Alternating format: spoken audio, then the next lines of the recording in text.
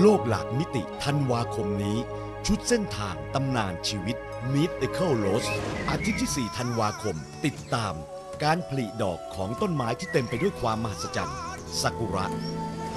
อาทิตย์ที่ 11 ธันวาคม การผจญภัย บนเส้นทางแห่งเสรีภาพของนักเดินทางเสียงเรียกจาก阿拉สกาอาทิตย์ที่ 18 ธันวาคม ดินแดนแห่งมนต์ขลังสุดขอบโลกที่สุดของอารยธรรม พาทาโกเนีย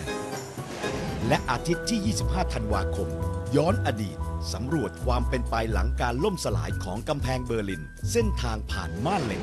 อย่าพลาดโลกหลากมิติ ทุกคืนวันอาทิตย์5ทุ่มตรง ทางไทย PBS